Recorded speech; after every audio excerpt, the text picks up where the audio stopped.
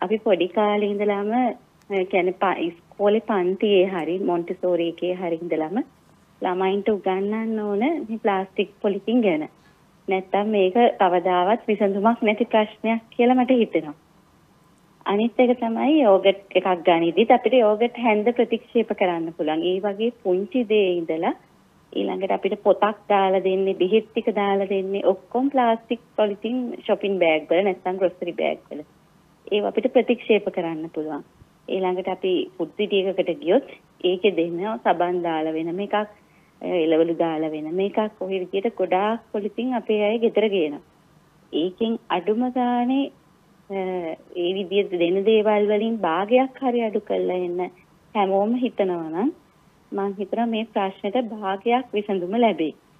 ඊළඟට අපි පොඩි කාලේ දකිනවා අපි මාළු ගන්නෙ අබරල කොළවලට. ඒ වගේම ස්වභාවික දේවල් වලින් තමයි රැප් කරේ. අපි පැණි මුලක් ගෙනාවත් ඒක ගේන්නේ පුවක් කොලේ කොතලා. අකුරු ඔතල තියෙන දැනටත් ඒක නම් කෙරෙනවා කෙසෙල් කොලවල.